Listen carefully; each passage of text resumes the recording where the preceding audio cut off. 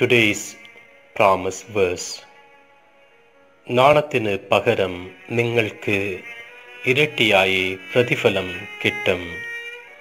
ലജ്ജയ്ക്ക് പകരം അവർ തങ്ങളുടെ ഓഹരിയിൽ സന്തോഷിക്കും.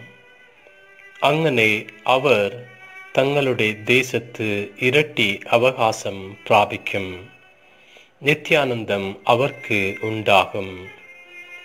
இசையா அத்தியாயம் அறுபத்தி ஒன்று வாக்கியம் ஏழு. காட்